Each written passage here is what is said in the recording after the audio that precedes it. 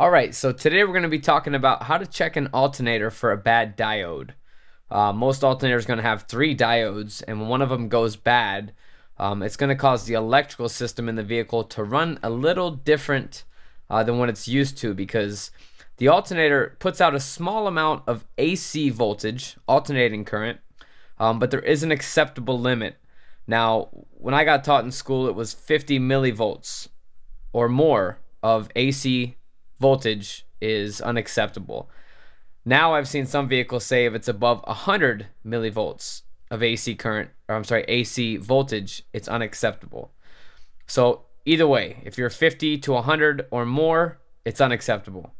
Um, so what we do to check this is we use our multimeter with the vehicle running and we hook it up to the battery, the positive and negative terminals on AC volts, and we're going to get a reading. Um, the alternator will put out DC voltage, and the specification for that is 13.5 volts to 15.3 volts. So a good alternator and most alternators that are in good shape, you're going to find in the 14 volt range.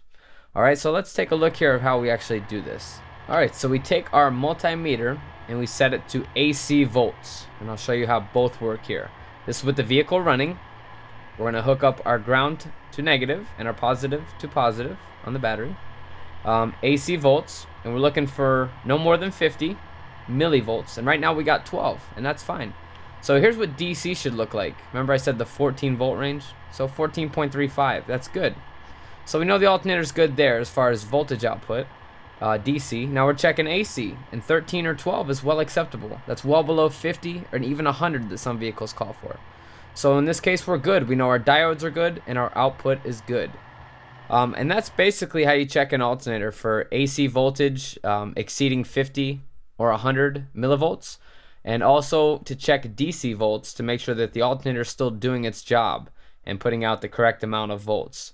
Um, for DC checks, meaning you know 13.5 to 15.3 volts, um, I like to go to the back of the alternator on the actual output bolt. But that's just me. You can do it at the battery and get a quick go or no go um, scenario. But for 100% accuracy, it's better to go off the back of the alternator to check the DC voltage. And that's it. So thank you for tuning in. Um, any questions, just leave a comment and I'll get back to you. Make sure to like, comment, and subscribe. Thanks for watching The People's Garage.